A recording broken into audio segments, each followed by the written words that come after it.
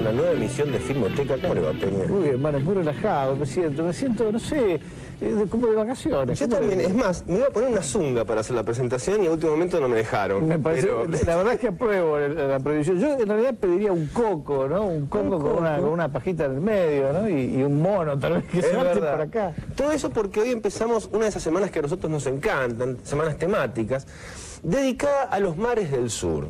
Eh, género, por decirlo de alguna manera, eh, muy popular en, en los años 20 y comienzos de los 30. Sí, aclaremos que es un género, es uno de los pocos géneros de los que nadie ha escrito un libro todavía, ¿no? Hay, hay- hay- hay libros sobre el cine de boxeo, por ejemplo, sobre el peplum, sobre toda clase de, yo no diría géneros, subgéneros raros. Subgéneros. Y nadie todavía se le ha ocurrido hacer a partir de, por ejemplo, películas como Motín a bordo, por ejemplo. Es que hay un montón de Eh, películas un libro sobre los mares del sur. Hay un montón de películas ambientadas en los mares del sur, cuatro de las mejores eh, son las que vamos a ver acá. Exactamente. Las películas de los mares del sur eh, son, como lo dice su título, películas ambientadas en islas así exóticas, con chicas con tun, con Y sarón, sarón y Eh, guirnalda. Exactamente. Eh, Eh, con- Bora Bora, Con gente abajo de una palmera, haciendo feliz. Donde aparte siempre hay mucho drama, ¿no?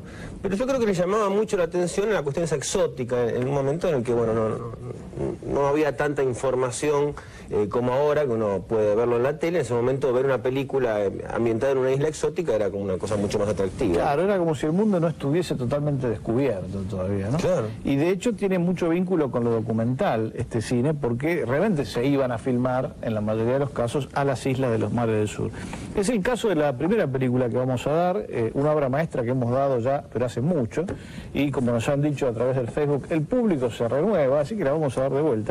Es una, obra maestra de, Murnau que se llama Tabú, que fue su última película y que él mismo produjo de manera independiente. No sin conflicto, porque la película la, empezó a hacer con eh, un pionero del cine etnográfico o etnobiográfico que fue Robert Flaherty. Flaherty había filmado ya eh, una película llamada Moana, también en las islas de los mares del sur, y al mismo lugar fue después con Murnau y fue Flaherty el que dio el tema de la película. Sí, Flaherty de hecho está presente en dos de las cuatro películas que vamos a ver en la semana, porque era como el capo, digamos, del... del- del- Sí, se había pasado dos o tres años viviendo con una tía. Para realmente saber cómo se hacía. Exactamente. Y, y Tabú, bueno, la, la desinteligencia que hubo entre los dos, eh, que se resolvió por supuesto para el lado de Murnau porque era el productor de la película, eh, eh, tenía que ver con que Murnau quería justamente apartarse de lo documental y dirigirse hacia esa zona trágica, mucho más germana, ¿no?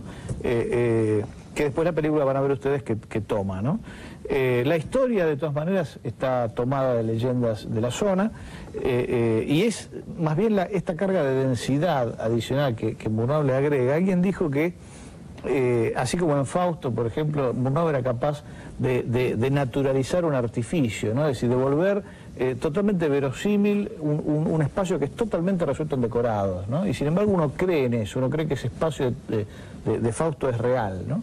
Acá hace lo contrario, es decir, filmando todo en locaciones reales, da una impresión de artificialidad, ¿no? de, de cosa que no puede ser, que no es posible en la realidad. ¿no? Se, se aparta de lo documental, sí, sí, sí. así como logra un efecto documental en, en- en los espacios artificiales. Un maestro, Murnau, y uno de los cineastas que más nos gusta, no solamente a nosotros. ¿no? Sí, y el título de la película Tabú tiene que ver en realidad con toda la semana, ¿no? Porque la mayoría de estas películas tenían siempre un tabú. Era como que la pasaban tan bien, tenían tan pocos problemas que se tenía que inventar algún tabú. Es exactamente así. En, en el caso de, de Moana, esto quedó bien claro, porque digamos, Flaherty venía de hacer eh, un éxito comercial totalmente imprevisto, que era Nanook el esquimal, ¿no? donde la gente parece que se solidarizó con la gesta de este pobre esquimal que para eh, eh, mantener viva a su familia tenía que itinerar por ahí el, el- el- el Ártico buscando la comida, ¿no? en el medio de tormentas y toda clase de problemas. Bueno, eh, ¿qué- ¿qué pasa? Cuando filma Moana, el- el- el tema es que no hay drama. Dice, ¿qué hacemos? Claro, porque el, el nativo de los mares del sur hace así en el agua y saca Claro. un pescado, hace así y saca una fruta, ¿no? Entonces no tenía problema. Y la angustia, eh, eh, y esto es, es sociológico, ¿no? Que, que con la que termina la película, es, es- es un ritual eh, en donde el, el- es, es el rito de iniciación de los adolescentes cuando pasan a ser considerados adultos, ¿no? Que atraviesan tres días de eh, eh, unos rituales dolorosísimos, eh, con tatuajes espantosos, ¿no? luego de los cuales son, considerados parte de los adultos de la tribu. Entonces la, conclusión de, de, Flaherty era justamente esa, que allí donde el hombre no tiene problemas, se los inventa. Exactamente. Que en realidad es lo que pasa en, todos lados, ¿no? uno se la pasa inventándose problemas. Esta fue la última película que hizo Murnau, que murió pocos días antes del estreno, según el libro Hollywood Babylon, Murnau, que era gay, eh, parece que iba haciéndole algo al chofer que se distrajo y chocaron y murió trágicamente, pero eso lo dice eh, un, escritor bastante mentiroso. Sí, sí, eh, no hay manera de saberlo, salvo que la posición en la que claro, los cadáveres sea realmente delator. Y no, entremos más en detalles, por favor. Vamos a ver entonces Tabú, obra maestra realmente de Friedrich Murnau, hecha en 1931.